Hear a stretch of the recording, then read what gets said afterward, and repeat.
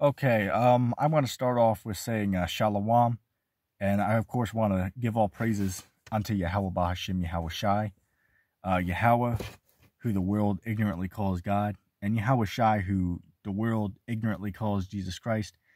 Um, I'm just going to do a little video. Um, I'm going to entitle this something along the lines of what is heaven and hell according to the Bible, because there is a misconception around, uh, which it's been around for hundreds of years, um, it pretty much it's going to be long.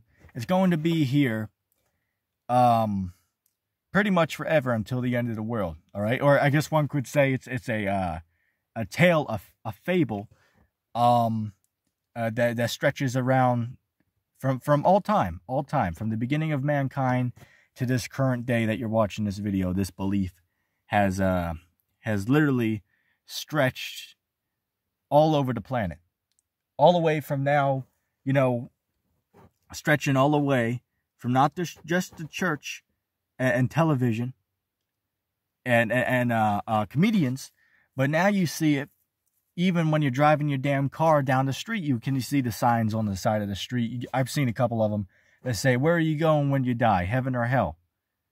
And that's exactly what we're going to talk about here. Um, it is true that the word heaven and the word hell are mentioned in the Holy Scriptures. However, with this being said, it is not the teaching that the Christian church teaches. It's a uh, another breakdown, okay? It's a correct breakdown. Um, that'll use certain things like, say, for an example, uh, Luke, the 16th chapter, dealing with um, the Lazarus and the rich man, and say, well, see, hell has to be real. Well, as we all know, Christ spoke in parables. So Lazarus and the rich man was simply a parable. It was not a literal event that happened or is going to happen. Okay? Um, let's see. Um, let's deal with heaven first. In the Bible, there is three heavens. Um, Isaiah, say for an example, uh, Isaiah the 14th chapter says, uh, Lucifer, how have thou fallen from heaven? Um, the heaven that Lucifer fell from, which, if you know the scriptures, uh, the Lucifer is simply referring to, in that chapter, Lucifer is referring to the, the king of Babylon, uh, which that's talking about modern Babylon, um, which is America, by the way. Um, but that seat of, of, of authority or rulership is, is that kingdom, that heaven that, that Lucifer fell from in Isaiah the 14th chapter. Uh, there's another heaven which is the sky that I see above me, the blue sky. That is, um, that's another heaven. Okay, that's heaven. And there is a third heaven where the Most High, um, and the, the holy angels are located. Okay, now where is that exactly? Well, nobody can really know the answer to that question. Um, but the point of the matter is going by the scriptures, we see there are three heavens.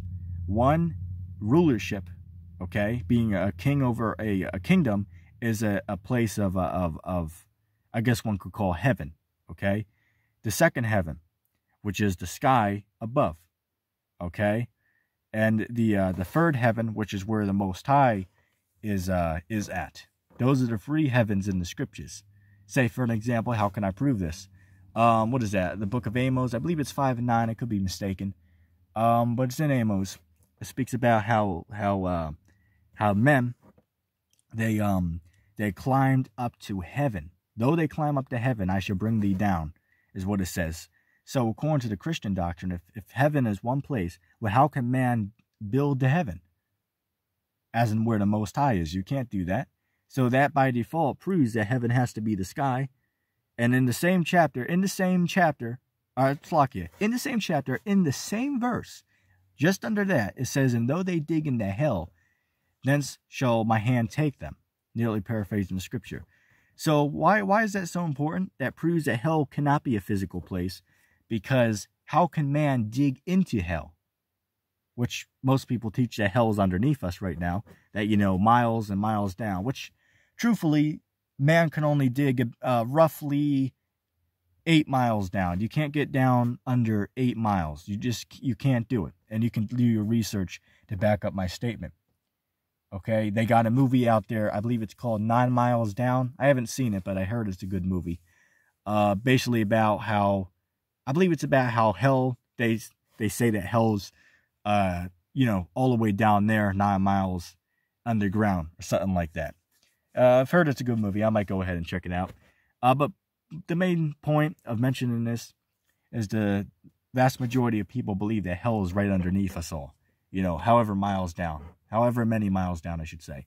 Uh, you know, they also say and they teach in schools that you know the center of the earth is um is basically just molten rock, right? Heat down there, like lava and whatnot. Which that's just a conspiracy. Um, that's truthfully just a belief because nobody's ever been there before. So how could you say something like that if you've never been there? Nobody's ever been to the center of the earth. So how could one say what is in there if you yourself never been there? You can speculate on what you believe is down there. Just like the whole hell thing. They can say hell's down there, but nobody's ever going to know that.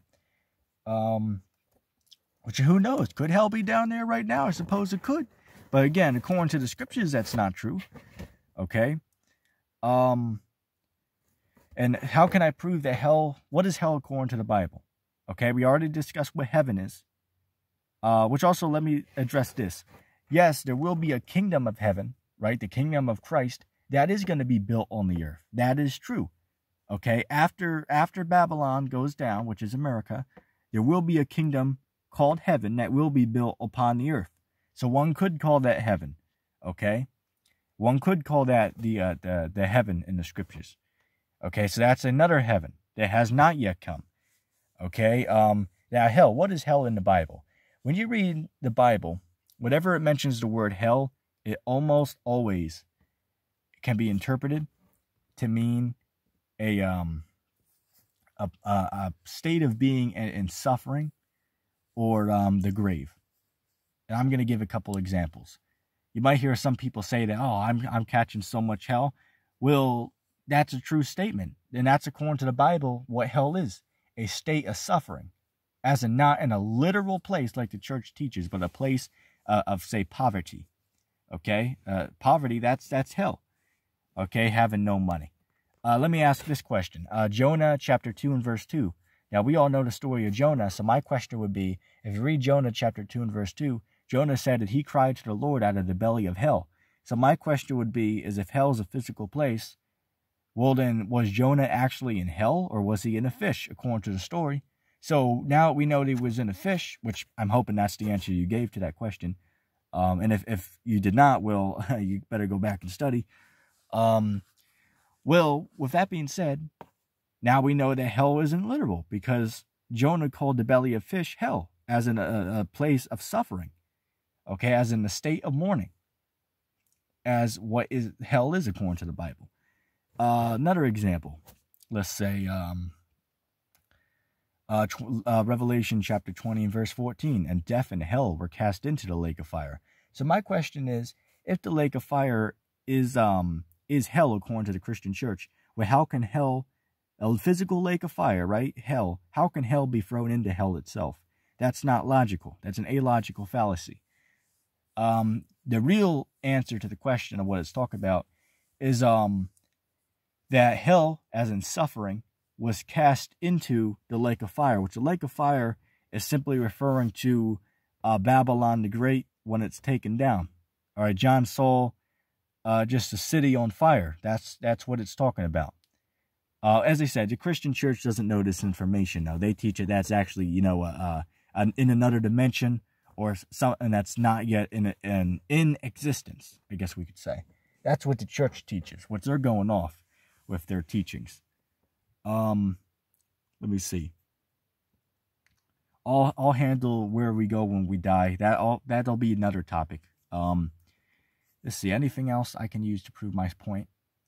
Oh, uh, I will go into this though. Um, for those of you who made it this far, put hashtag ETT in the comment section down below. Um, one more thing I will handle to disprove hell is the Bible says that everybody goes to the same place after you die. This is in the book of Ecclesiastes. Uh, I believe it's in the third chapter. I could be mistaken, but if you read Ecclesiastes, there's a verse that says um, that the spirit of a man goes upward, but the spirit of a beast goes downwards. Now, my question would be: is if hell was real, does that mean that the spirit of an animal goes to hell, but the spirit of an, a man goes to heaven? According to that scripture, you have to agree with that, or you have to admit that there is no hell. Okay? That's clearly how you would explain that. Second, um, let's see. Um, Job, the third chapter, it speaks about what happens when you die.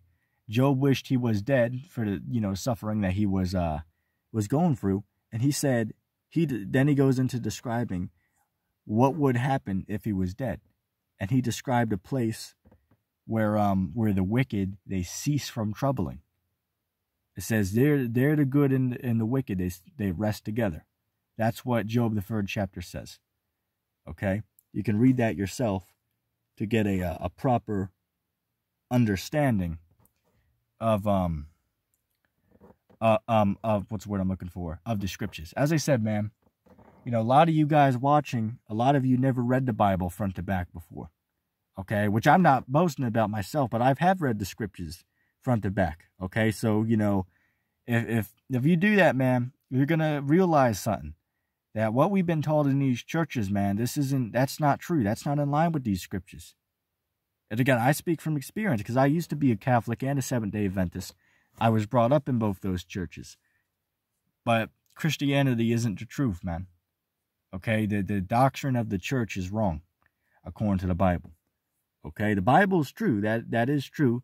That that Christ was real, right? Uh, uh, the Son of the Most High, who who died for the sins of Israel. Um, and you know the whole Bible is true. Okay, but with that being said, the, the, the Christian church has a perversion of what the, the, the Bible says. Okay? Um, but anyway, with that being said, I'm going to say shalom.